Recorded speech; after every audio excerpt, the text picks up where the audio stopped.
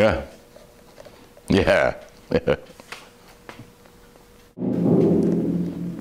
Spandau Prison, a bleak fortress in the British sector of Berlin, controlled by the four occupying nations. One, one, two, three, one. Yep, there I am. One, two, three, one, I could have been one of those guys. two, three, one.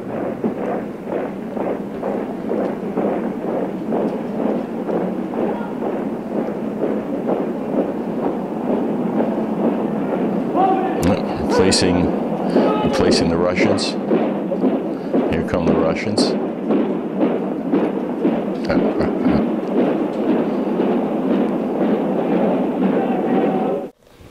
Isn't that amazing? Yeah.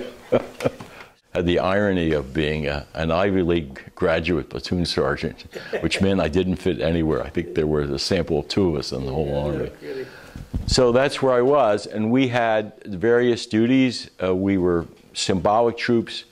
We were always had to be there when every politician flew over. I was, I was uh, in charge of a platoon when Nixon came. We were in Nixon's. I was from, for about 10 feet away from Nixon. We all these people would come, and they would have to say they brave defender of freedom in Berlin. Uh, twice a twice a year, we drove down to West Germany, the 110 miles through the corridor, it was called, and we trained down there and shot and things like that. So we had to be combat ready. And uh, we, we are also in charge of security at Spandau Prison, which meant every four months we would take over responsibility for that. But the only orientation we had that I recall is that we were given what the standing orders were, you know, about what you could do with and without the prisoner. I also noted that we were not allowed to have any ammunition, which caused us a bit of concern. At the time, this was the time of a lot of student protests in Berlin, the anti-war and things like that. There was a guy named Rudi Dutschke who was very effective in leading anti-government things, and we were always, one of our jobs was to be backup for the Berlin police in terms of riot duty. So we practiced with that all the time. And we were worried about Rudi Dutschke. The, the theory was that they might try to break into Spandau prison and, and take Hess out as a, as a hostage. Hitler aber Deutschland, wie Deutschland Hitler ist. Hitler, Sieg Heil! Sieg Heil! Defendant Rudolf Hess, on the counts of the indictment on which you have been convicted, the tribunal sentences you to imprisonment for life. Hess served that life sentence in Spandau prison in Germany. Only Rudolf Hess will remain, the last mad symbol of the men who led Germany during the terrible years of Nazi rule. There was one, he was the only one, and we were told that the Russians refused to release him. I don't know if that's true or not. That is true. At Yeah. that time, it was true. Yeah, yeah, he was the only one. It cost something like three or four hundred thousand dollars a year to maintain this prison. We were not allowed to talk to him. We were, you know, I, uh, I had a, a- a friend of mine who I'm still in communication with, who was also in, in uh, Sergeant uh, Spandau prison, and uh, he talked. He was real tall, and he talked about his head bumping on the top of the guard tower, his, his helmet liner.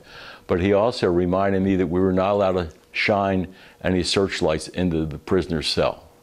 So I guess we were even then we were concerned about political correctness.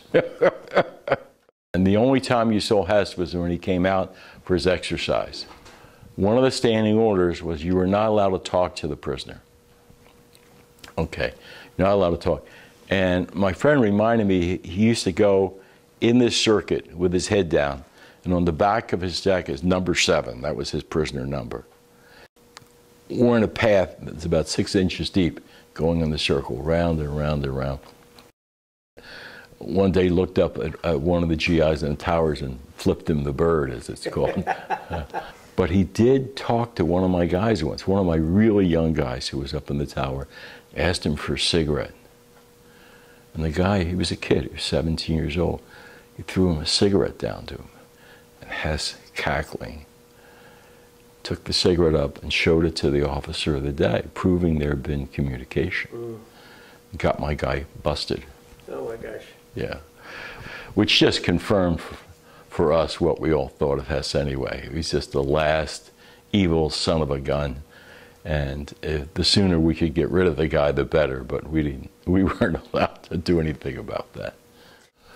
So we would take over for. We would do this for to do shifts for a month, and then we we would hand it over to uh, the Brits, and then the Brits would hand it over to the French, the French to the Russians. But I have to tell you a story about this was the only joint American Russian military venture left in the world, the only one.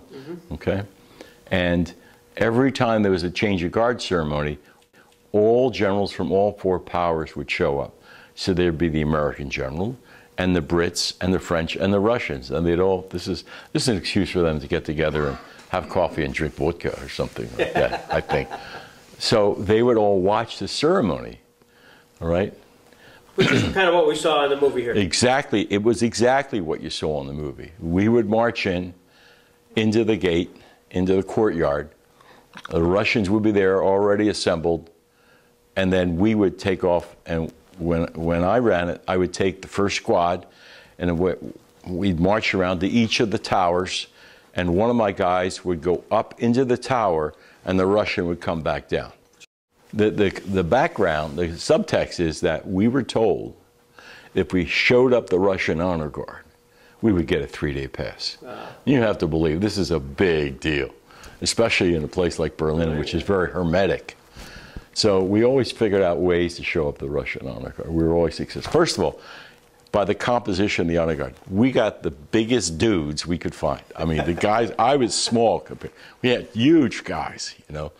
And so the Russians would look at us like we were monsters. Of course, their propaganda was working overtime.